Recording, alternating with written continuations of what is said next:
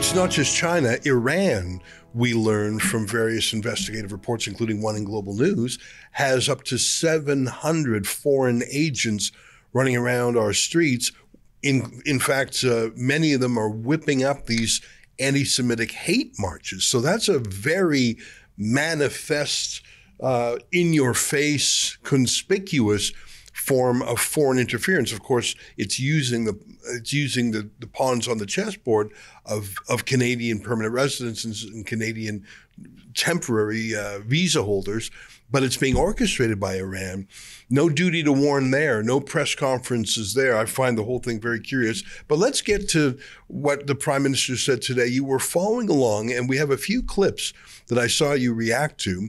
Um, Let's play the first one. This is a clip from the Hogue Commission today. Uh, John, we'll play it for our viewers, and then I'd like your thoughts on it afterwards. Olivia, go ahead and put in the first clip. And if we can scroll down to paragraph 126.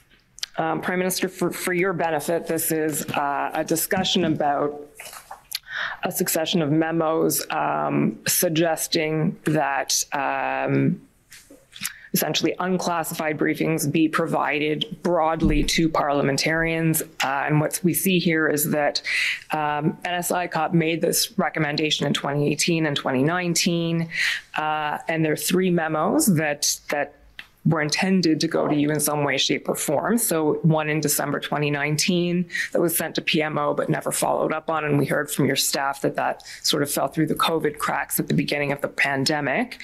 Um, one in December 2020, which was discussed within PMO but ultimately not actioned, and that the the report mentions one in 2022, which was never finalized or even sent to PMO. Um, so just to confirm, first of all, that none of these memos ended up reaching you. Is that correct? Correct. Okay. Um, and we know that the, the, this initiative of broadly briefing parliamentarians eventually did happen in June 2024. So if none of these reached you, um, first question I'd like to ask is, should this have happened earlier? And are you troubled that it didn't? Um, uh, my position has always been uh, that uh, providing more briefings to parliamentarians is a good thing. Uh, I am uh, fully in favor of it. We all receive uh, security briefings uh, when we first get elected on not leaving documents hanging around, being careful about when you're speaking about delicate matters in a restaurant or on an airplane or anywhere people can overhear. Uh, we learn the basics of um, phone hygiene and how you how to keep uh, keep your, your, your information um, secure. Uh, and I'm a huge believer in empowering uh, empowering uh, parliamentarians to be able to be uh, safe and thoughtful in how they do things. The briefings to parliamentarians that you receive when you get elected uh, and security briefings ongoing um, are not directed by the government of the day. They're directed by the House of Commons itself, the Sergeant at Arms, if it's a matter of security, uh, the Speaker's office, you know, briefings to all parliamentarians uh, is not in general something that the uh, the government of the day uh, is directly involved in.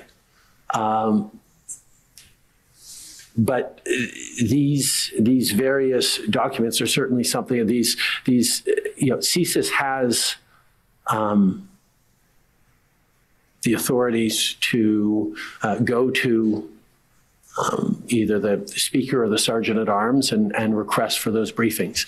These briefings didn't get to me, but uh, these decision points didn't get to me, but uh, I made it very clear throughout conversations that I would have um, that I would have approved of or encouraged briefings of parliamentarians.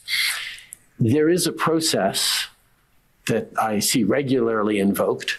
Um, about every week or so, I sit down with the clerk of the Privy Council and we go over you know, changes to uh, the senior ranks of the public service. We talk about particular issues that are coming forward. And part of our regular meetings is uh, the clerk highlighting, okay, there's this note that we sent to your office uh, that has been there for a week or two or, or, for too long, and we need a return on this uh, because uh, this is important and we need this to be acted on. And I'll say, okay, we'll follow up and we dig it up from the pile of notes that we get and make sure that we prioritize that. Uh, in this case, nobody, neither CSIS, uh, through their minister to me or directly to the clerk or to the NSIA uh, flagged that this was something that was of, of, uh, of importance to them that was stalled. Um, and therefore, as you pointed out, they, they were not acted on in my office. You know, um, I don't want to call Trudeau a stupid man because I don't think he is. He's a he, he's he's not a serious man. Um, I'm told by people who know him that he spends most of his free time reading science fiction books.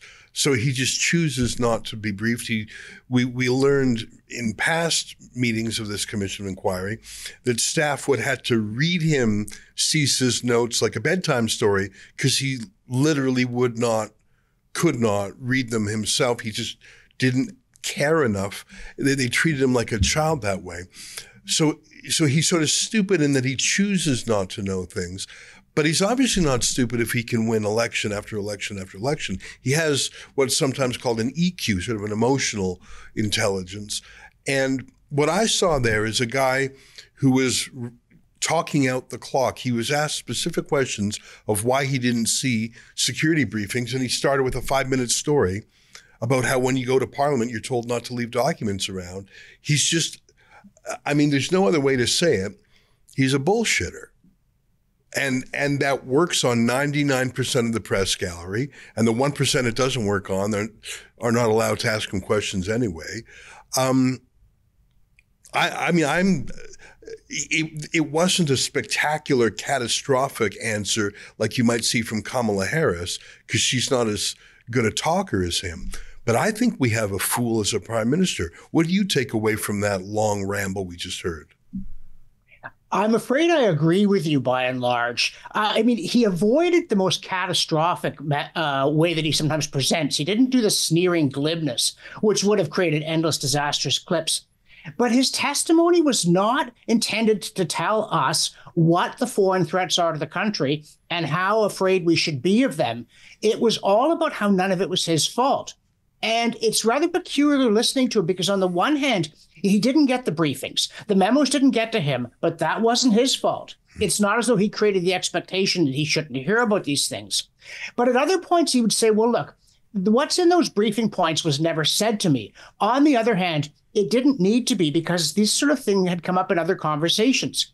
So at the one and one and the same time, he was never informed of anything that it might be embarrassing to know why he didn't act on it. But on the other hand, he wasn't clued out. He knew everything because, of course, he had these deep conversations with people of which there is no record and on which he cannot be pinned down. And the overall effect, though, he is good at it. Again, I agree with you that he is not a stupid man, but he is not a wise man. But he totally missed the point. If you want to rebuild trust, if you want to have a rational discussion, those in power need to tell us not just when they knew things or what they knew, they need to tell us what's going on. Who are these MPs whose loyalty is suspect or whose judgment is obviously terrible? How big are the threats to Canada? Where are they coming from? And what really is being done about it? And instead, Trudeau did a very kind of put you to sleep performance mm-hmm. about how he himself couldn't be proved to have done anything wrong. And even though it was a good performance, it was it was a good answer, but to the wrong question. Because the question is, how badly is Canada penetrated by hostile foreign actors from Islamists to communists? And this is not an unreasonable question, even if sometimes people, including sometimes people in parliament, put it in ways that could be improved on. And he didn't even try to address it. In fact, he tried not to address it. And so, no matter how good his performance was today, it was terrible because we still don't know. And we know that he's not going to tell us what he knows. He's not even going to let us figure out how much he knows that he's not telling us and how much he just doesn't know hmm. deliberately or through incapacity. So, in that sense, you know, it was one of these disastrously successful performances. you know, um, Canada used to be part of uh, a Justice League, if I may use a comic book phrase. Um, you know, there's the good guys, there's NATO, but NATO is a pretty big group. G7 is a pretty group, big group, G20. But there was a group called the Five Eyes. Uh, super friends, you could call them the close close would be like on Facebook. You have you can be friends with someone you don't really talk to, but you have close friends. And this group of five people called the Five Eyes was the United States, the United Kingdom, Australia, New Zealand, and Canada. We were part of the Super Friends. And we're not really part of that group anymore. NATO had a an exercise we did not attend. There's this new group called AUKUS, Australia, UK, and US. It's a military and trade alliance. We weren't even invited. We used to have something called Operation Maple Flag, which was like a an exercise, um, a, a, like a Top Gun exercise in Alberta every year. We don't have that anymore because we just don't have aircraft that can fly along with the rest of NATO. We have slowly been pushed out of the good guys club, not in a spectacular way. No one has shamed us. Donald Trump tried to shame uh, Trudeau a bit about our underspending, but I don't think it's just that we don't have a strong military anymore.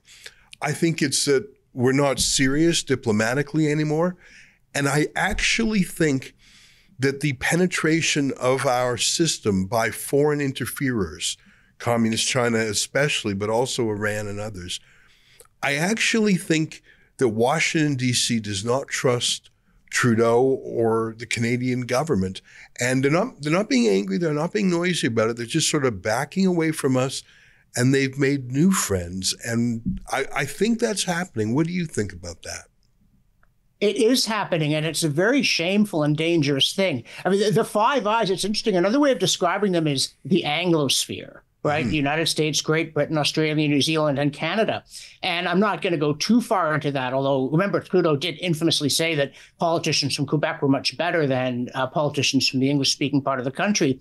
Maybe he was not entirely right about that. But one of the problems here is that anybody who's even partway serious about security knows that Canada is a soft touch, not just for terror groups that we let operate here, that we finally, you know, banned Samidoun, but also for money laundering. And there was just this huge problem with one of our major banks. Yeah. We don't police international crime of all sorts, and our allies know it. They can't trust us. Our politicians are frivolous, our institutions are complacent and mediocre, and we're just not the country that we were, vital in both world wars, a key ally in the Cold War, someone you could count on to do the right thing, even if, like all politicians, ours tended to do some silly stuff, like the so do American ones. But we've lost that status. And I, I don't know why they're so shy about shaming us. It might help wake us up, but th- they know they know that you let the guy with the socks do his selfies and things. And then once he's out of the room, you have the serious discussions. Yeah. And we ought not to tolerate this. I mean, again, you can't always just blame the politicians. We're the voters. This is still a self governing society. I call it the picture of Dorian voter. The more hideous they look, mm. the more we should worry about how we're behaving. But for whatever reason, and this comes back to the subject of the inquiry, Canada is badly penetrated by hostile actors, and the whole focus of our elite is making sure that we never find out what's happening, rather than saying, yeah, this is a big problem. We trust you, the citizens. We're going to put it on the table for you. If we made mistakes, we're going to confess, but let's get it fixed. And that's the last thing they're ever going to say. So our status will just continue to dwindle. Yeah. You know, you're so right about the socks. I remember Trudeau's first big international trip after he was elected in the fall of 2015. It was actually the World Economic Forum in Davos in January 2016. And he went and he took a huge entourage and he had photos taken of him with U2, the band, and and all these Hollywood types, and he met with George Soros when he, and he was showing everyone his fancy socks, which he was really into.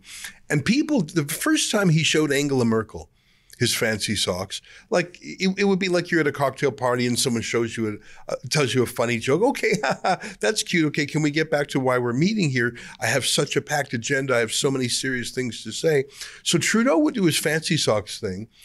And the other leaders were wise to sort of laugh at first. Okay, fine, he's got this quirk but it was all fancy socks all the way down. There was nothing underneath the fancy socks. There, so he would have these unserious tricks, and very soon you would see all these video after video, and they weren't just selectively edited of him at these NATO meetings, G20 meetings, by himself. No one sought him out. If he sat down next to someone, They didn't immediately dive, oh my gosh, I'm so glad I caught you, Justin Trudeau. There's something I've been meaning to say about a very important file we have in common. No one ever says that to him because, as he testified before an ethics commission inquiry when he was in trouble for taking the free trip to Billionaire Island, he doesn't get briefed on things. He's all about relationships. He leaves the heavy stuff to others. I, I really think he's undone our country.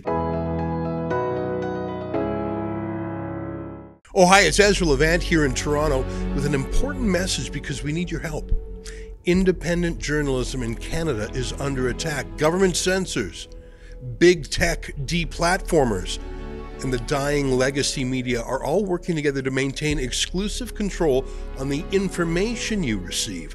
They don't want you to hear other voices like ours, and they really don't want you to be informed and to think for yourself. That's why the work we do here at Rebel News is so important. Our on the ground reporting, independent news shows, and special content you won't find anywhere else. It's all designed to give you trustworthy information and alternative viewpoints so you can decide for yourself. We don't get government money, and we are not owned by some big global conglomerate. We're funded by people just like you, so please support independent journalism and help us continue our work by subscribing and becoming a Rebel News Plus member today, right here on the page. Go to rebelnewsplus.com. Members get instant access to all of our shows, invitations to exclusive events, and access to our premium content like live event footage and documentaries you won't see anywhere else. Only Rebel News Plus members can join the conversation by participating in the comments section of our new website. That way you can have your say too. More than anything, though, you'll be able to take pride in supporting real, honest journalism, and you'll help our talented team continue to do the work to push back on the establishment. We really can use your help. We need it, in fact. So thank you, and enjoy Rebel News Plus.